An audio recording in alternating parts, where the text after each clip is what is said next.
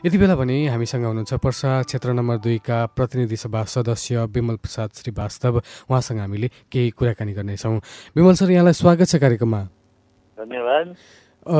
कोरोनाका कारण लकडाउन भएको पनि आज अडतिस उन्चालिस दिन भइसक्यो। तपाईँ त यो बेलामा चाहिँ हराउनु भयो भनेर विभिन्न सामाजिक सञ्जालमा पनि देख्न पाइन्छ। खास के हो? यार यो विषयमा कतिचोटि मैले भनिसकेँ म काठमाडौँमा छु। एउटा समितिको सभापति हुँ। थुप्रै छन्। यही बिचमा लकडाउन भयो म यहीँ बसेर भए पनि धेरै काम गर्दैछु भन्दाखेरि हराउनु पऱ्यो चाहिँ आवश्यकै छैन नि। बिरगजमा तपाईँको धेरै मानिसहरू हुनुहुन्छ तपाईँप्रति आस्था राख्ने भरोसा राख्ने तर अहिले चाहिँ तपाईँ यहाँ नभइदिँदा अलि अभि अभिभावकत्व कमी भयो कि भनेर सोच्या होला नि त त्यसो भए। यो व्यक्ति विशेषको समस्या पनि होइन व्यक्ति विशेषको काम पनि होइन हेर्नुहोस् यो। पुरा क्षेत्र पनि होइन जिल्ला पनि होइन पुरा देश पनि होइन यो विश्वभरिमा यो महामारी फैलिएको हो। हजुर हो। त्यो महामारीमा जो जहाँसुकै भए पनि है यसलाई चाहिँ सामूहिक रूपको धारणा राखेर यसमा सबैले आफ्नो योगदान दिनुपर्छ। के भने एउटा क्षेत्रको लागि गर्ने कुरा पनि आएन। यो सम्पूर्ण मानव जातिकै एउटा भनौँ न अहिले महामारीमा तपाईँ हामी जो जहाँ छौँ त्यहीबाट भए पनि यसको लागि चाहिँ हामीले आफ्नो स्तरबाट प्रयोग गर्नुपर्ने स्थिति छ। विमलजी जस्तै कि अब को कोरोनाको जुन विश्वव्यापी महामारी चलिरहेको छ होइन? नेपालमा पनि उन्साठीजना सङ्क्रमित फेला परिसकेका छन्। यस्तो बेलामा फेरि नेपालको राजनीतिमा फेरि गजब तरिकामा अगाडि बढ्दैछ नि है? अब राजनीति हेर्नुहोस् अब त्यो यसलाई अहिले यो चर्चा प्रचार नगरौँ। त्यसलाई एकातर्फ राखौँ। हजुर। र मूल कुरा के भने यो महामारीबाट कसरी बच्ने? त्यसमा हाम्रो सोचहरू पर्दछ अहिले त यो कोरोना सँगसँगै राजनीतिको पनि कुरा गर्नुपर्ने आवश्यकता देखियो। जस्तै कि जुन तत्कालीन समाजवादी पार्टी फुटाउन पार्टी उपाध्यक्ष रेणु यादवको नेतृत्वमा एघारजनाको टोलीमा तपाईँको नाम पनि टप लिस्टमा थियो भनेर चाहिँ जुन कुरा बाहिर आएका छन् नि त्यो कुरा चाहिँ कति सत्य हो? पहिले पनि हजुर। धेरै पत्र पत्रिकामा आयो मिडियामा आएर मेरो तर्फबाट जुन मैले दिनुपर्ने जस्तो साधन। त्यो म पहिले नै दिइसकेको छु मलाई योसँग कुनै किसिमको सरकार छैन। हजुर। म जहाँ थिएँ त्यहीँ छु। भन्ने कुरा मैले अस्पष्ट पारिसकेको पछि त त्यस्तो सवालै उठ्नु नपर्ने हो। भनेपछि त्यो कुरा असत्य हो। असत्य हो। जस्तै कि तपाईँहरूको अब यो अध्यादेश आयो होइन? केही दिनसम्म टिक्यो फेरि बिलाएर अध्यादेश त गइसकेको छ। तर पनि तपाईँको तत्कालीन राजपा र समाजवादी पार्टीलाई एउटा उपहार चाहिँ दिएर गयो होइन? यो जनता समाजवादी पार्टी जुन उपहार उपहारको रूपमा चाहिँ तपाईँहरूले पाउनु भएको छ नि तपाईँको विचारमा चाहिँ यो उपहार कतिको फाइदा र महत्त्व जस्तो लाग्छ? यो सब्जेक्टमै अहिले चर्चा नगरौँ। अहिले जुन विषयमा हामी अहिले इन्भल्भ भएका छौँ अहिले। त्यसमा अहिले हामी केन्द्रित हौँ न।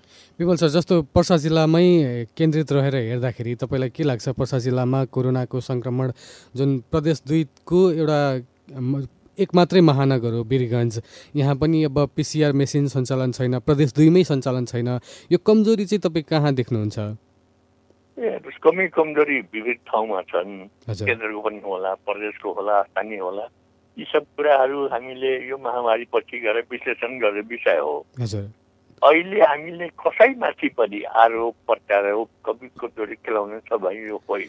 समय त होइन तर हामीलाई चाहिएको थियो साधनहरू जुन पिसिआर मेसिन सञ्चालन हुनुपर्ने थियो कोभिड नाइन्टिनको विशेष अस्पताल सञ्चालन हुनुपर्ने थियो त्यो केही पनि भएन। नभइसकेपछि तपाईँहरूको पहल त कम्तीमा हुनु पर्थ्यो नि भन्ने त पहल भइरहेको छ पहल भएर नै जे जतिले नै यो नेपालमा हाम्रो मुलुकमा कुनै किसिमको लेबोरेटरी थिएन एउटा यसको यो टेकु लेबोरेटरी बाहेक। यो यो महामारी जब भइसकेपछि सरकारले पनि आफ्नो स्तरले भ्याएसम्म सकेसम्म सरकारले पनि प्रयास गरेको हो। र आफ्नो बुट्टाभन्दा बाहिरका चिजहरूको लागि हामीले माग्नु पर्ने चाहिँ किन्नु पर्ने बाहेक त्यस्तो विकल्प थिएन तर प्रदेश नम्बर दुईमा मात्रै अझैसम्म पनि पिसिआर मेसिन चलेन अन्य प्रदेशमा त चलिराखेको छ। सबै प्रदेशमा गएको छ। हजुर। त्यसमध्ये वीरगञ्ज एउटा महत्त्वपूर्ण स्थान भएको हुनाले। त्यहाँ पनि व्यवस्था गर्नुपर्ने हो छुट्टै। हो। आखिर यो किन भएन कसो भएन मैले पहिले नै के भनिहालेँ भने यी सब विषयमा विश्लेषण गर्ने समय आउँछ। त्यो बखतमा कसको कमी कमजोरीले यसरी कुरा भएको हो? त्यसमा विश्लेषण गरेर दण्ड पुरस्कार के गर्नुपर्ने हो त्यो समय आउँछ गर्नुपर्छ। तर विमलजी जस्तै कि अहिलेको जुन तपाईँ त वीरगन्जमा बस्नुहुन्छ वीरगन्जमा घर छ तपाईँको तपाईँले नारायणी अस्पताल अ, को बारेमा राम्रोसँग बुझ्नु भएको छ त्यो गरिबको अस्पताल हो होइन? र आज सम्पूर्ण सेवा ठप्प बनाएर कोरोनाको लागि त्यहाँ उपचारहरू भइरहेको छ। केन्द्रले पनि कोभिड टू लेभल अस्पताल घोषणा गर्यो। र आज त्यहाँ उपचार भइरहँदाखेरि स्वाब परीक्षण पनि हुन सकेको छैन। जबकि आरडिटी टेस्टले त एउटा जुन रिजल्ट दिइरहेको छ त्यसमा भर पर्नै सकिँदैन होइन? पिसिआर स्वाब टेस्टको लागि पिसिआर मसिन आएर पनि थन्किएको अवस्थामा छ। अब हामीले आरोप प्रत्यारोप भन्दा पनि नि अहिले त पिसिआर मसिन त सञ्चालनमा आउनु पर्थ्यो नि त स्वाब परीक्षण हुनु पर्थ्यो नि त यहीँ। त्यो सब भइरहेका छन्। अब कहाँ कहाँ कमजोरी भयो? कहाँ त्रुटि देखियो? कसको लापरवाहीले भयो? यो विषयमा हामीले यसको विश्लेषण गरिन्छ छलफल हुन्छ। यसमा पुरस्कार र दण्ड दिने व्यवस्था पनि छ, सब हुन्छ। विमलजी जस अहिलेको हजुर लागि हामीसँग जे जस्तो साधन स्रोत छन्। छ कल्यामा छ हेटरामा छ जनकपुरमा छ, कहाँ छ? है? र अर्को कुरा के भने यो लकडाउनको भएको हुनाले लकडाउनमा त हामी तपाईँ हामी सबैले जे जस्तो अवस्था भए पनि घरमै बस्नुपर्छ है।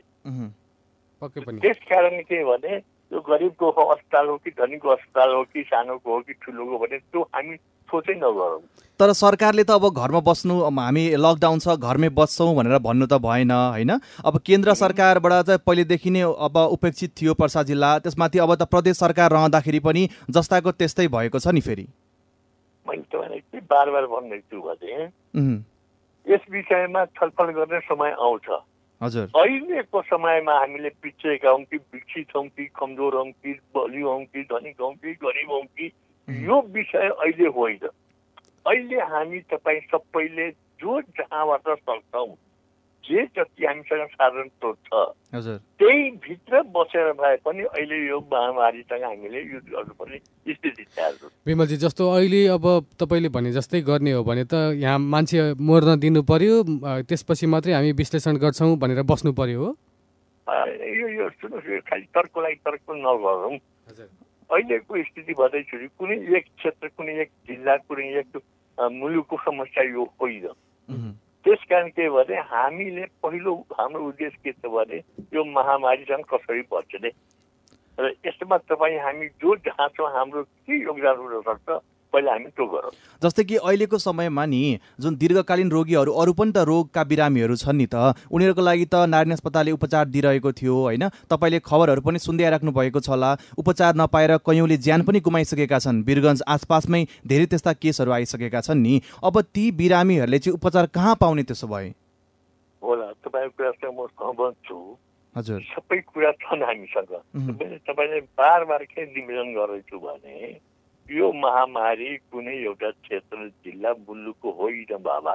हजुर। त्यस कारण हामी हाम्रो सोच के हुनु पर्यो भने सबभन्दा पहिले हामी युद्ध लड्दाखेरि युद्धमा सिपाहीको जुन पहिलो उद्देश्य हुन्छ नि शत्रुलाई मार्ने। त्यो घाउ छ खत छ कहीँ बाली नोक्सान भइरहेछ कहीँ गाई बस्तु मरिरहेछ त्यसतर्फ ध्यान जाँदैनन् क्या मान्छेको। उद्देश्य त्यो हुनुपर्छ। त्यसै गरी अहिले यो विश्वभरिको महामारी रोग हो यो त्यस कारण हामीले के भने छन् तपाईँले भनेको कुरा सबै जायज कुरा हो सबै आवश्यक पनि हो। तर मूलभूत अहिले जुन स्थिति छ महामारीको त्यसलाई हामीले हेर्नुपर्ने हुन्छ। त्यस कारण यी जहाँ कुराहरू पनि आफ्नो ठाउँमा छँदैछ। त्यसमा पनि यो अहिले चाहिँ यस्तो स्थिति हो हेर्नुहोस्। हाम्रो त अविकसित एसियामा पनि त्यसमा पनि गरिब मुलुक हामी छौँ। अब यसलाई पूर्ण रूपमा हेर्ने हो पशुपतिनाथको कृपा भन्ने हो कि यहाँका सबै दाजुभाइ दिदीबहिनीहरूको धैर्य र साहसले गर्दाखेरि यो भएको अहिलेसम्म हाम्रो मुलुकमा त्यस्तो क्याजुलिटी एउटा पनि देखिएको छैन। विमलजी जस्तो अहिले लकडाउन छ लकडाउनका कारण श्रमिक वर्गहरू एकदमै मर्कामा परिरहेका छन्। दैनिक ज्यालादारी गरेर खानेहरू झनै मर्कामा परिरहेका छन्। स्थानीय सरकारहरूले नि सहयोग गरिरहेका छन् राहत वितरण गरिरहेका छन्। तपाईँले यतातिरका खबरहरू पनि हेरिरहनु भएको होला। कस्तो देख्दै हुनुहुन्छ राहत वितरण प्रक्रियाहरू चाहिँ? अब यता कता सुनिन्छ तपाईँले भनेको सही हो। कहीँ कहीँ चाहिँदो नचाहिँदो काम पनि भइरहेका छन् कहीँ कहीँ मान्छेले राजनीति गरेर सोच बनाएका छन् कहीँ कहीँ कालाबजारी गरिरहेका छन् कहीँ कहीँ मिसावट छ पुगेका छन् यी कुराहरू पनि नसुनिएको नदेखिएको होइन है अब यसमा त आफ्नो विवेकको कुरा पनि आउँछ स्थानीय जनप्रतिनिधि भनौँ चाहे राजनीतिक कार्यकर्ताहरू भनौँ चाहे अन्य प्रशासनिक निकाय भनौँ जसबाट पनि यो बखतमा त कुनै किसिमको लालच लोभ नापा नुकसान नहेरिकन आफ्नो स्थानबाट हामीले कसरी आफ्नो नागरिकलाई आफ्नो दाजुभाइ दिदीबहिनीहरूलाई सुरक्षित राख्ने उनीहरूलाई अति आवश्यक नब्बे नहुने चिजलाई कसरी पूर्ति गर्ने त्यो सोच हुनु पर्ने हो। तर यही न हो तपाईँको एउटा हातको त पाँचवटा औँला त बराबर छैन भनेपछि यत्रो समाजमा यस्ता विभिन्न विचार विभिन्न सोचका मान्छेहरू छन्। त्यस कारण यस्ता घटना दुर्घटना भइरहेका छन्। यसमा पनि सुधार गर्नु पर्छ र आवश्यक कारवाही गर्नुपर्छ यसमा दुई मात्रै छैन। यसका बावजुद पनि मजदुर होस् किसान होस् अन्य क्षेत्रका सबै मान्छे उहुँ, सबैलाई पनि सरकारको दायित्व हो सक्दोभर मिनिमम जो रिक्वायरमेन्ट छ त्यो गभर्मेन्टको पक्षबाट हुनु पर्दो छ। उहुँ, र गभर्मेन्टले पनि सक्दो गरिरहेकै छन्। अब तिन किसिमको सरकारले गरिरहेछ तपाईँलाई थाहा छँदै सङ्घीय सरकार छ प्रदेश सरकार छ स्थानीय सरकार छ।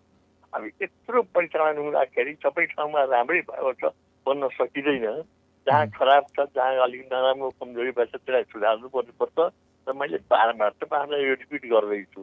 यी महामारी सकिएपछि कहिले कहाँ के कस्तो राम्रो नराम्रो काम गरेका हुन् त्यसको मूल्याङ्कन हुनु पर्दछ र त्यसकोलाई दण्ड पुरस्कृत गर्नुपर्छ जस्तै तपाईँ अब पर्सा क्षेत्र नम्बर दुईका प्रतिनिधि सभा सदस्य हुनुहुन्छ होइन? यहाँको अभिभावक हुनुहुन्छ। तपाईँ केन्द्रमा यहाँबाट प्रतिनिधित्व गर्दै हुनुहुन्छ। तपाईँलाई थाहा छ अहिले वीरगञ्ज महानगरपालिकाले अ, वीरगञ्ज स्थित गण्डक अस्पताललाई कोभिड अस्पताल बनाउनका लागि पहल चालिरहँदा पनि केन्द्रबाट तपाईँको स्वास्थ्य मन्त्रालयले अनुमति दिइरहेको छैन नि। यसलाई तपाईँले कसरी हेर्नुभएको छ? अब वीरगञ्ज महानगरपालिकाले यी सब कुरा गर्नुभन्दा अगाडि प्रदेश सरकार छ सङ्घीय सरकार छ यिनीहरूको सम्पूर्ण समन्वय मिलाएर केन्द्रीय सरकारको के छ नीति प्रदेश सरकारको के छ अवस्था यी सबै समन्वय गरेर कुनै काम गर्नु पर्दाखेरि राम्रो हुन्थ्यो महानगरले त भन्दैछ नि प्रदेश सरकारले हामीलाई सहयोगै गरेको छैन भनेर। होइन प्रदेश सरकारले उसलाई गरेन कि सङ्घीय सरकारले गरेन कि नगरपालिकाले आफै गरेन यी आफ्नो कुरा हो। समन्वय गरेर तिनटैसँग काम गरेको भए राम्रो हुन्थ्यो। अब यो समयमा आफ्नै डम्फु बजाएर काम चलेन हजुर।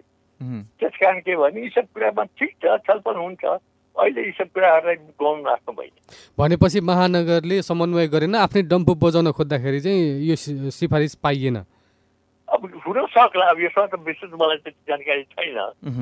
अब कसो कमी कमजोरी हो के कसो त्यो त म भन्न सक्दिनँ अहिले। अब अहिले त विभिन्न जिल्ला प्रदेश नम्बर दुईका सर्लाहीसम्मका कोरोना सङ्क्रमितहरूलाई वीरगञ्जमै ल्याएर उपचार गरिरहेको छ अहिले उपचार भइरहेको छ होइन? तपाईँले के छ यो प्रदेश नम्बर दुईको पर्सा जिल्लाको अवस्थाहरू तपाईँले चाहिँ बुझ्दाखेरि कस्तरी कसरी लिनुभएको छ के कसरी बुझ्नु भएको छ तपाईँले? पर्सा जिल्लाको मात्र होइन विशेष गरेर यदि हेर्ने नै हो भन्दाखेरि दुई नम्बर प्रदेशको जुन अहिले भौगोलिक अवस्था छ नि हजुर। हाम्रो भारतसँग जोडिएको सिमाना नै धेरै एरियामा छोटा हजुर। र जबसम्म भारतमा कन्ट्रोल हुँदैन हामी कहाँ कन्ट्रोल हुन पनि गाह्रो गाह्रो नै भइरहेको छ। किनकि हाम्रो एक अर्काको जुन सम्बन्ध छ जुन आवागमन रोकिएको छैन कुनै न कुनै रूपले अहिले पनि छ त्यो स्थितिमा सबभन्दा पहिला त हामी आफू पनि सतर्क हुनै पर्छ। साथसाथै छिमेकीबाट यस्तो कुराको कसरी बन्देज गर्ने कसरी अनुगमन रोक्ने र कसरी जनचेतनामा हामीले यो कुरालाई उहुँ, त्यसमाथि डिपेन्ड गर्छ हजुर तथापि वीरगञ्ज भनौँ चाहे दुई नम्बर प्रदेश भनौँ चाहे अगल बगलका जिल्ला भनौँ सङ्घीय सरकार प्रदेश सरकार र स्थानीय सरकारको राम्रो भूमिका छ राम्रो काम पनि भइरहेको छ काम गर्दाखेरि कहिले त्रुटि हुनु स्वाभाविक हो तर त्यसलाई आटिनु पर्ने स्थिति चाहिँ छैन झ्याट्टा साथ यत्रो दुःख गरियो। केही दिन मलाई जहाँसम्म लाग्छ केही दिन अझ। हामीले झ्याट्टा साथ बस्यौँ भने यो महामारीलाई हामीले जित्न सक्छौँ। जस्तै तपाईँले भन्नुभयो नि छिमेकी मुलुक भारतबाट नेपाल आवत जावत अहिले पनि क्रम जारी छ चलिरहेको छ भन्नुभयो नि।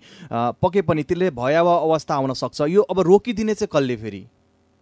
अब त्यही त जनचेतना हुनु पर्यो। तपाईँ हामीले तपाईँकै घरमा कोही आइरहेछ टोलमा आइरहेछ छिमेकमा आइरहेछ भने तपाईँ हामी सबैले मिलेर यसलाई चाहिँ कसरी रोक्ने? त्यो त्यो त्यो पनि हाम्रो पनि दायित्व हो र अन्य निकायको त त्यही त नि सीमा क्षेत्रमा त सरकारले पनि त त्यहाँ सुरक्षाकर्मीहरू खटाएका छन् नि त। अब उहाँहरूलाई खटाउँदा खटाउँदै पनि आवत जावत भइरहेको छ भने त अब कसलाई दोष दिने? त्यही त्यो त हामीले रोक्नु पर्यो नि ठाउँ ठाउँमा मैले पनि पहिला सुनेको छु टोल टोलमा पनि सुनेको छु। मान्छेले बेरियर लगाएर आफ्नो वार्डमा आफ्नो गाउँमा आफ्नो टोलमा बाहिरको मान्छे आउन दिइरहेका छैन। हजुर। भन्दाखेरि ती जागरुक समाज हुन् त्यस्ता। त्यस्तै किसिमका हामीले पनि बोर्डरमा पनि हाम्रो टोलमा गाउँमा छिमेकमा कोही नआओस् भने स्थानीय रूपमा युवाहरू परिचालन भएर जनचेतनालाई अलिकति मध्यनजर गरेर हेऱ्यौँ भने हामी पनि रोक्न सक्छौँ। सरकारले त आफ्नो काम गरिरहेकै छ नि। हामी एकदमै अन्तमा छौँ विमलजी। अब तपाईँलाई त जनताहरूले धेरै आशा गरेका छन् हुन सक्छन् तपाईँले विगतमा गरेका कामहरूले गर्दाखेरि पनि त्यो आशा अहिलेसम्म छ होइन? जाँदा जाँदै तपाईँ के भन्न चाहनुहुन्छ जनतालाई के सन्देश दिन चाहनुहुन्छ रेडियो मार्फत अहिले सबै दाजुभाइ दिदीबहिनीहरूलाई सन्देश त होइन अनुरोध गर- गर्न चाहन्छु म निवेदन गर्न चाहन्छु। कि अहिले यो महामारीको बखतमा हामीले धैर्यका साथ जसरी अहिलेसम्म हामी लडिरहेछौँ अझ यसमा हामीले सबै आफ्नो स्थानबाट इमान्दारीपूर्वक यसमा लडौँ प्रयोग गरौँ। जो जहाँ छौँ सङ्घीय सरकार प्रदेश सरकार स्थानीय सरकारका नियम कायदा कानुन आह्वान सूचनालाई हामीले हृदयदेखि नै पालन गरौँ म यही निवेदन गर्न चाहन्छु। हस् यहाँको समयको लागि धेरै धेरै धन्यवाद। हस् धन्यवाद।